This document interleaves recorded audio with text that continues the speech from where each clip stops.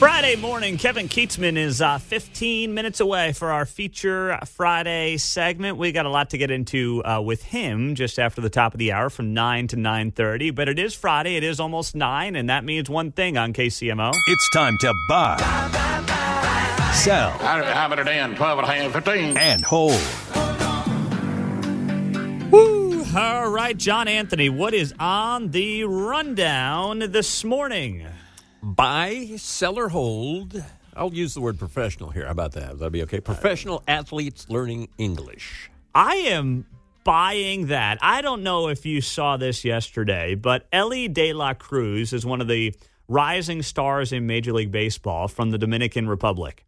And to open up the season, the Cincinnati Reds uh, shortstop, who is uh, apparently going to be, you know, one of the future studs in Major League Baseball, spoke about how he spent this offseason learning English. I'm buying this, and here's what he had to say. I love this. Yeah, it's so important to me because now you guys understand understand what I say, and it's important to the fans to understand me and me understand the fans. And I I put a lot of work in my on my English to talk with you guys, and I think I'm doing a good job. That's what I did. I don't know. I, I can vouch for it. I don't know. How did you uh, How did you work on it? I will. I practice every day talking with the other guys, and I just talk with them, and I just let it go. That's amazing. You know, uh, last week I played a clip for you of a guy who won a state house race in Ohio, and he gave his victory speech in Somali.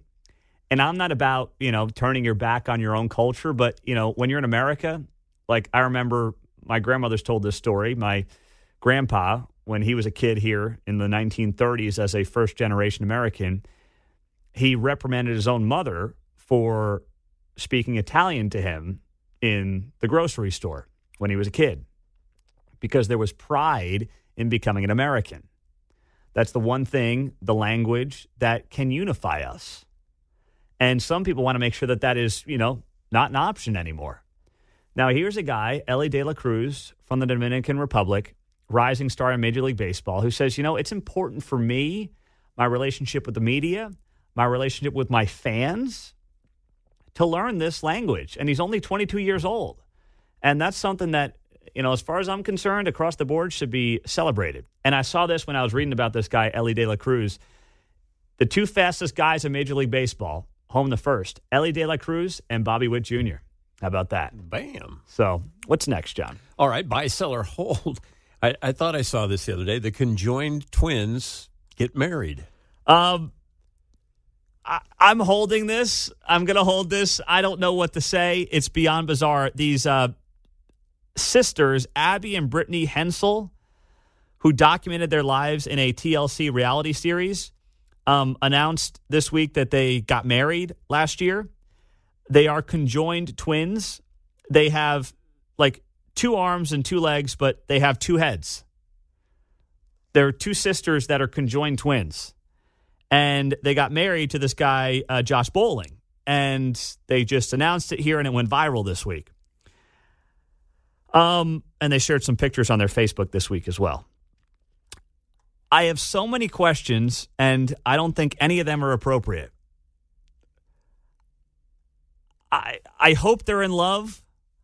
I always root for love, but this guy is married to I don't even know how to explain it. One body, two heads? Two, yeah, it's two different brains. I've watched the show before. My wife loves that stuff. it's so weird. Like it's hard for me to watch it, but yeah, they they have separate brains. Sometimes they have same brain waves like twins do, but it's strange. It, it is the strangest thing. And God bless them. I mean, but it's literally it's one body with two heads on it. And this guy Josh, who looks like, you know, a pretty humble, regular, run of the mill dude, got married to him. I mean, who do you kiss first when you get home from a long day at the office? Like, do you just rotate every other day?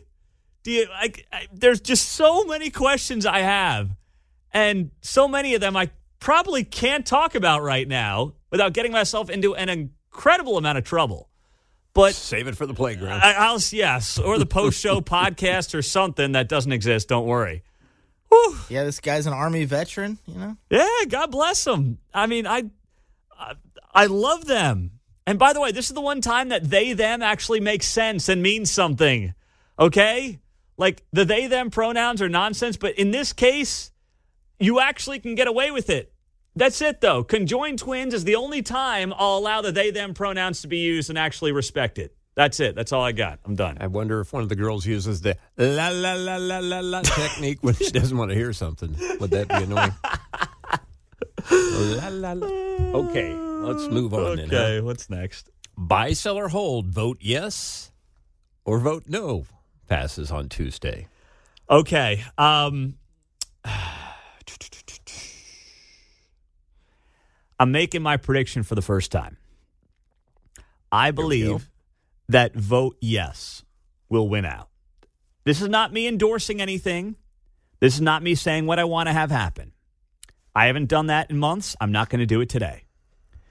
But the more I think about this, and the more I realize that money matters in politics, and fear tactics, scare tactics, like it or not, work in politics.